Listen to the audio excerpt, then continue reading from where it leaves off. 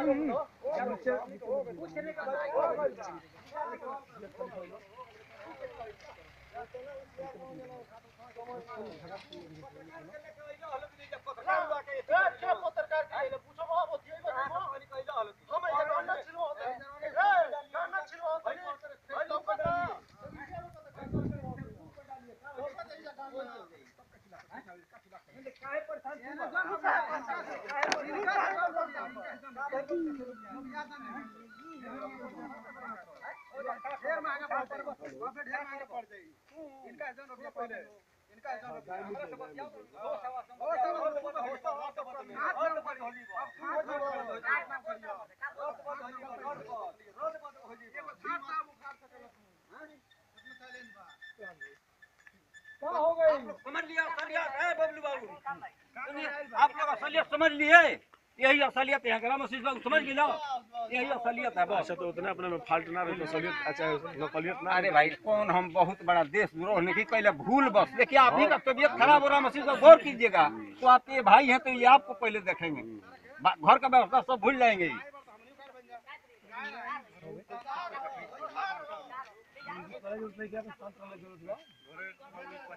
सबके बात सुन के चल जाए फेसबुक पे डाल दो।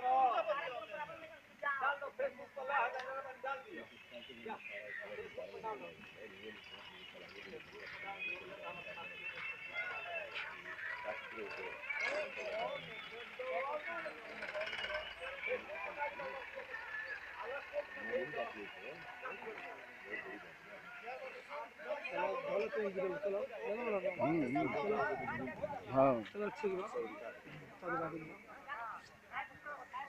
ए हो गई ए बच्चा। ए हो गई। देख लिए आप लोग पूरा तमाशा इन लोगों का। हेलो कभी आइबा मर रही जल्दी आइबा यही में कॉल कर दे सागर सुगरी कहला के बाबू। जल्दी आ यार। बोलो तो बोलो तो बोलो तो। देख लिए देख लिए आप लोग। हो गई हो गई बस समझ गए लोग बाबू तू पूरा बात समझ गए लोग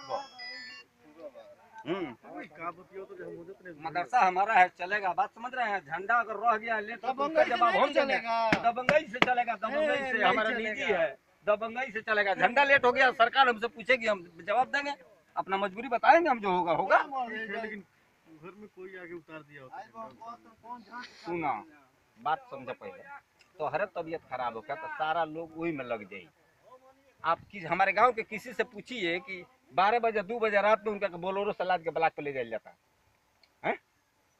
तबियत उनके खराब हो तो जानते नहीं मुझे जानते नहीं। हैं? अब बारह बजे दो बजे ले जाया जाता।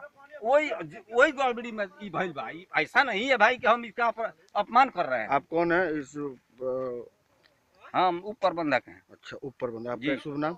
मुख्तार अहमद। झंडा लेट मतलब नहीं उतरा है। हाँ। आज की डेट में सत्ताईस जनवरी तक झंडा नहीं उतरा उसका कारण? और मौलाना साहब का तबीयत खराब हो गया साहब। अच्छा। और इसी वजह से हम लोग दवा में चले गए दिमाग से बात उतर गया नहीं तो ऐसा कभी नहीं होता है हम अठारह साल से झंडा फहराते हैं कभी ऐसा नहीं हुआ है। हम्म।